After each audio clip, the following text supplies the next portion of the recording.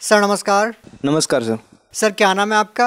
जी मेरा नाम पंकज कुमार है। जी मैं राजस्थान गंगानगर डिस्ट्रिक्ट से हूँ और सर संत रामपाल जी महाराज जी से नाम दीक्षा लेने से पहले आप क्या भक्ति साधना करते थे?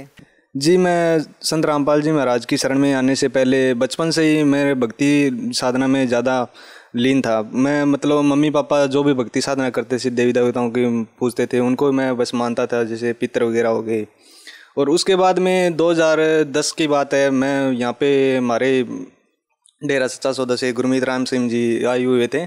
तो उनसे मैंने नाम दीक्षा ली थी जाके और उसी के साथ साथ मैं लगभग सोमवार के व्रत करता था।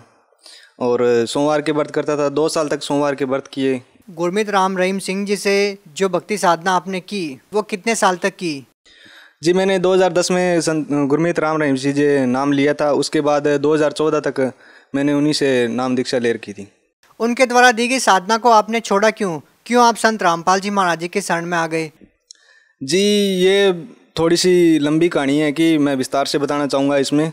जब मैंने संत रामपाल जी महाराज के बारे में सुना था वो उनसे पहले क्या है कि मेरे मौसी जी के लड़के थे उन्होंने नाम दीक्षा संत रामपाल जी महाराज से ले रखी थी। तो उनके बारे में मेरे को, मेरे मम्मी जी ने बताया भी, वो आपके भाई ने वो वहाँ से नाम लिया है और वो हरियाणा से है, कोई संत है और वो तो किसी के मतलब पैर नहीं छूते हैं, न किसी के सिर पे हाथ रखते हैं, न कोई देवी देवता को मानते हैं, ऐसे करके। तो उसके बारे में मैंने अपने पापा से पूछा, हम वैसे ही घर में बैठे थे सारे चाचा जी और सारे बैठे थे। तो उनके बारे में पूछा भी ये क्या सिस्टम है? वो किसी देवी देवताओं को नहीं मानते, वो तो कहते हैं भी ये किसी मतलब सबसे ऊपर हैं, कब भगवान तो कोई और है, ये ब्रह्मा, विष्णु, महेश है जो ये अपने को मोक्ष नहीं करवा सकते, ऐसा कुछ बताया था उन्होंने। तो मैंने कहा भी आप बताओ, आप मेरे से बुज़ुर्ग हो, आपको सारा अनुभव है, आप बताओ मेरे को। तो उन्होंने, उनका पक्ष मतलब उन्होंने पहले ज्ञान का पुस्तक पढ़ ली थी मेरे पापा जी ने। तो उन्होंने मेरे को बताया कि, भाई, उनकी बात सही है। तो मेरे बात वो मन में खटक गई भी। पापा भी ये बात उनके पक्ष में हो गई, उसकी मतलब ऐसा क्या है? तो क्या गुरमित राम रहीम सिंह जी अपनी भक्ति साधना में ये ज़िक्र नहीं करते कि आपको भक्ति से क्या क्या लाभ मिलेगा? जी, वो ऐसा कुछ हुआ ही नहीं। वो तो हमारे, यहाँ पे मतलब हमारे गाँव के पास ही जो विजयनगर मंडी है, नई धान मंडी, वहाँ पे आए थे, सिरसा से चलकर और यहाँ पे आके और उसी भीड़ में मतलब सारों को इकट्ठा लगभग जितने लाख या जितने भी इकट्ठे हुए थे लोग, उनको एक साथ में इनाम दिया था। उनको किसी के पास न तो किसी के प्रश्न का उत्तर था, न वो मतलब किसी को पास में जाके किसी ने कुछ पूछा, ऐसा कुछ नहीं था जी। तो संत रामपाल जी महाराज जी ने जो आपको ज्ञान दिया और गुरमीत राम रहीम सिंह जी जो इतने सालों से आध्यात्मिक ज्ञान दे रहे हैं उस ज्ञान में आपको क्या अंतर नज़र आता है? जी मेरे को सबसे बड़ा अंतर तो यही है कि परमात्मा की पहचान होगी। भाई मनुष्य जीवन जो अपने को मिला है ये किस लिए मिला है? किससे आपको परमात्मा की पहचान हुई? गुरमीत राम रहीम सिंह जी से या संत रामपाल जी महाराज जी से? जी मेरे को संत रामपाल जी महाराज की शरण में आने से ही ज्ञान हुआ कि परमात्मा कौन है। और उनके, उन, संत रामपाल जी महाराज के ज्ञान को सुनकर पता लगा कि कबीर ही परमेश्वर हैं, जो हम सब जीवों का मोक्ष करेंगे। और किसी की, दूसरे की शरण में जाने से हमारा मोक्ष नहीं होगा। हमारी ये भक्ति साधना ये अब जो करते हैं, जगत के हिसाब से जैसे अपने भाई बंधु जो करते हैं, वो क्या है कि जो जो मन में आ लिया, उन्हीं को पूज लिया और वो मतलब जितने दिन किसी ने व्रत कर लिया, कोई तीर्थ पे चला गया, कोई जैसे हुआ, उसने जैसे नाम ले लिया किसी ने गुरु बनाया, किसी ने नहीं बनाया। सर, लोगों के मन में ये शंका बनी रहती है कि क्यों एक गुरु से जुड़ने के बाद, उनको छोड़ने के बाद संत रामपाल जी महाराज जी से जाके नाम दीक्षा ले रहे हैं? तो ज़रूर उनके मन में शंका रहती है कि आपको वहाँ से क्या मिल रहा है। हमारा आपसे यही प्रश्न है कि संत रामपाल जी महाराज जी से नाम दीक्षा लेने के बाद आपको क्या लाभ मिले? जी, मेरे को संत रामपाल जी महाराज के शरण में आने के बाद बहुत से लाभ हुए हैं। सबसे पहली बात तो कि जब मैंने 2014 में संत रामपाल जी महाराज की शरण में गया था, मैं उसके बाद ही मेरे बड़ी बहन जो गंगानगर में रहते हैं, उनके पास मैं गया हुआ था। तो वहाँ पे वो मतलब अपना घर बना रहे थे। तो मैं उनके साथ ऊपर था, मकान के ऊपर था।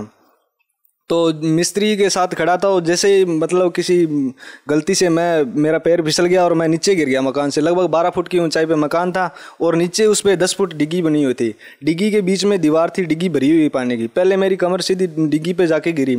उसके बाद मैं सीधा नीचे पानी के अंदर डूब गया। तो मेरे को बाहर पकड़ के मतलब साथ जो खड़े थे उन्होंने बाहर निकाला उसके बाद। तो मेरे को सिर्फ़ संत रामपाल जी महाराज के अलावा मेरे को किसी का ध्यान नहीं गया। और मैंने संत रामपाल जी महाराज परमात्मा मानकर उन्हीं को ही बस अपने ध्यान में लिया और कहा, परमात्मा जो भी हो, बस आप ही हो। तो उसके बाद सारे के सारे घबरा गए, लेकिन मैं तो ठीक था, बिल्कुल मेरे कोई दिक्कत नहीं हुई। और दूसरा लाभ मेरे को ये हुआ कि मैं 2016 की बात है, मैं अपने घर जा रहा था शाम को। तो शाम का टाइम था, मैं बाइक लेके जा रहा था तो किसी मोटरसाइकिल ने सामने से आके और मेरे में टक्कर मार दी। मेरे को पहले से ही ऐसा प्रतीत हुआ, अभी ये भाई जो सामने आ रहा है, ये मैं मोटरसाइकिल तेरे अंदर मारेगा। तो मैंने देखा कि वो ही हुआ, वो सीधा लेके आगे फुल स्पीड से, मैं आराम से जा रहा था फुल स्पीड से, इतनी स्पीड से मोटरसाइकिल मेरे अंदर आया कि मोटरसाइकिल बिल्कुल तहस नहस हो गया। और मैं जाके सीधा सीधा जाके दूसरी साइड जाके साइड में गिर गया कच्ची जगह पे जहाँ पे मैं बिल्कुल मतलब अपने चारों तरफ़ देखा मेरे को कहीं खरोंच नहीं हुई है। और दूसरे भाई को जो सामने मोटरसाइकिल लेके आ रहा था उसकी यहाँ पे पैर फ्रैक्चर हो गया उसका और वो वहीं बैठ गया। और क्या क्या लाभ मिले आपको? मेरे मम्मी जी हैं जो बीमार रहते थे और उनको पेट में पथरी थी तो उस हमने तीन डॉक्टरों से चेक करवाया था। चेक करवाने के बाद अल्ट्रासाउंड करवाया और एक दिन तो ये हालत होगी कि हम काम पर थे और खेत में काम कर रहे थे। तो घर से फ़ोन आया भी मम्मी जी की हालत ज़्यादा ख़राब हो गई है और वो बेहोशी की हालत में है। तो जैसे ही हम मतलब फ़ोन आ गया भी घर से भाई अब डॉक्टर के पास लेके जाना पड़ेगा ऑपरेशन करवाना पड़ेगा। तो हमने संत रामपाल जी महाराज की शरण में अरदास लगवाई, भाई, ये ये बात हो गई है और इसी कारण मतलब मम्मी जी ज़्यादा बीमार है। तो परमात्मा ने कहा, बेटा, घबराने की कोई बात नहीं है। संत रामपाल जी महाराज ने हमें ये बताया भी, बेटा, घबराने की कोई बात नहीं है। आप बेफिक्र हो जाओ, परमात्मा दया करेंगे। तो हम सुबह डॉक्टर के पास लेके गए रायसे नगर लेके गए, अल्ट्रासाउंड करवाया। तो अल्ट्रासाउंड कराने के बाद चेक करवाया तो उसमें कोई पथरी वगैरह कुछ भी नहीं था। और सब परमात्मा की दया से, संत रामपाल जी महाराज की दया से सब कुछ ठीक हो गया।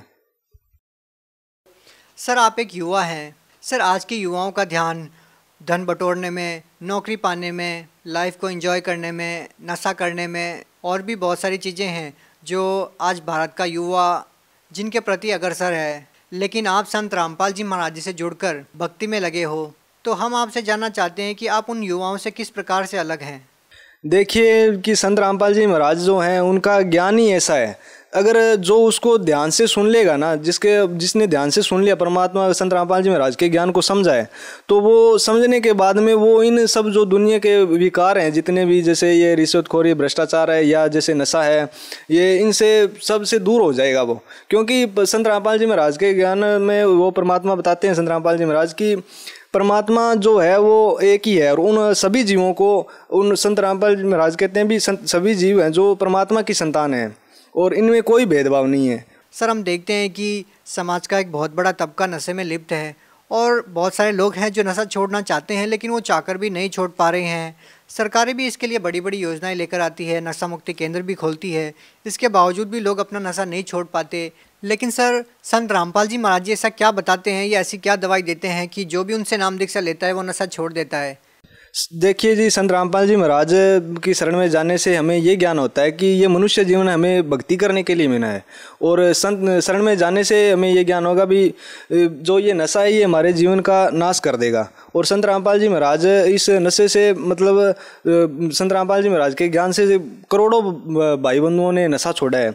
और आज संत रामपाल जी महाराज के आप किसी भी शिष्य से कुछ भी आप मतलब जितने भी आप रुपए दे दो, वो किसी भी हद पे मतलब वो पैसे लेके नशा नहीं करेगा। सर आप भगत समाज को क्या संदेश देना चाहते हैं?